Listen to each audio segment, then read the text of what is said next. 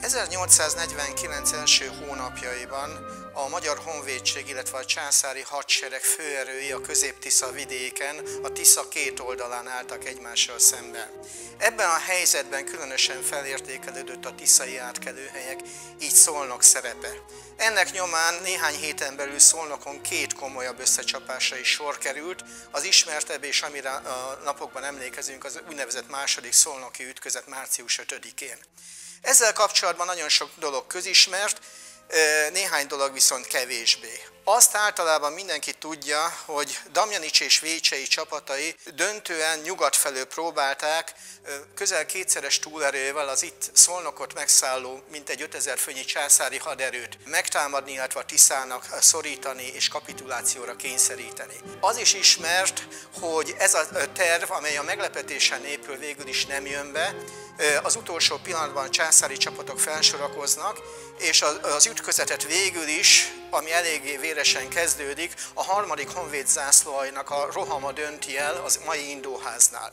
A visszavonuló császári csapatok ezt követően észak felé vonulnak vissza, mivel hogy itt a városban az agyvai hidat felszették, és ami kevésbé ismert viszont az, hogy egy igazán véres összecsapásra furcsa módon szólnak belterületétől északra, az agyvan mellett az úgynevezett malomzukban az ottani hídnál kerül sor, és igazából a császári hadsereg veszteségeinek a döntő többsége itt következik be.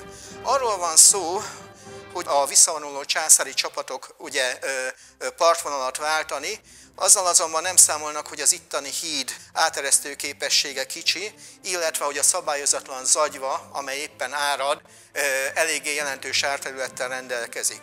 A társzekerek miatt feltorlódnak a, császári csapatok, és közben utolérik őket az üldöző magyar alakulatok, főként lovasság. Ezek kezdetben úgy gyalogsági és tüzérségi erősítésre várnak, mivel az üldözés közben a magyar csapatok hadrendje is felborul.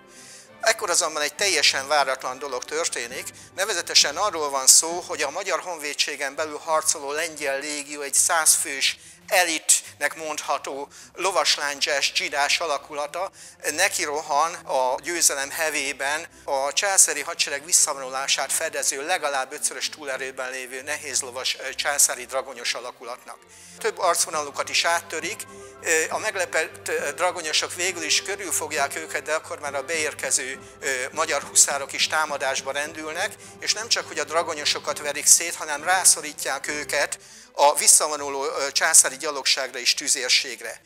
Csak nem katasztrófa történik a császári csapatok részéről, egy vállalatlan dolog menti meg őket. Az történik, hogy az összecsapásnak a hírére Abonyból egy két császári elit vértes ezredből álló különítmény megjelenik Szolnok nyugati előterében, ami miatt aztán Damjanicséknak vissza kell vonni nyugat felé a, a leggyorsabban mozgatható lovassági alakulatokat, így tulajdonképpen a malomzukban már-már csak nem katasztrofális helyzetbe kerülő császári csapatok részben át tudnak kelni a túlsó partra, részben pedig az innenső parton egy nagy kerülővel Abony és Ceglét felé el tudnak menekülni. Mindenképp ki kell emelni azt, hogy a szolnoki csatában vagy ütközetben elszenvedett császári veszteségeknek a nagy része nem az Indóháznál, hanem itt a Malogzumban következik be.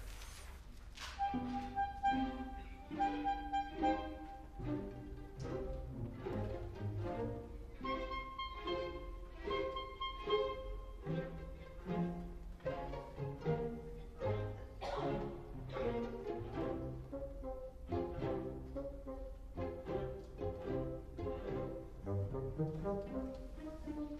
you.